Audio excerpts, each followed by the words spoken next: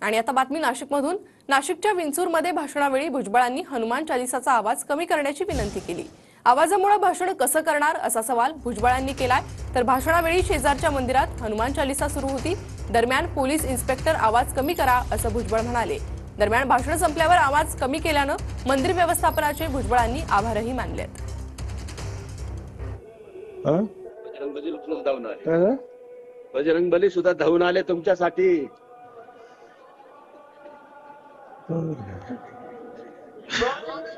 बजरंग बलीची आरती चालू आहे? होय? नाही नाही आरती नाही. आरती नाही पंचेचाळीस हनुमान चालीसा. दररोज लागते.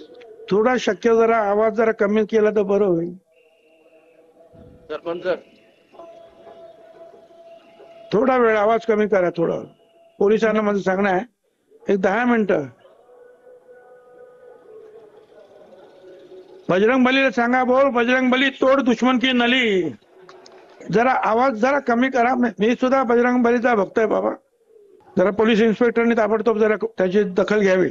तिथे असतील पोलीस त्यांनी ताबडतोब.